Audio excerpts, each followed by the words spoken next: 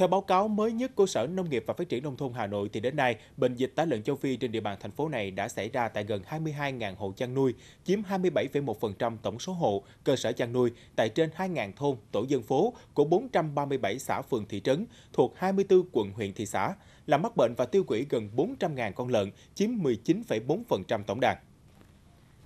Nhìn chung, công tác phòng chống dịch bệnh đã được các cấp, các ngành và các chính quyền địa phương tập trung chỉ đạo tổ chức triển khai đồng bộ các giải pháp phòng chống. Các ổ bệnh dịch được giám sát, phát hiện kịp thời, khoanh vùng và xử lý dứt điểm. Số lợn mắc tại hộ có dịch được tiêu hủy kịp thời, đúng quy định và áp dụng đồng bộ nghiêm túc các giải pháp phòng chống dịch.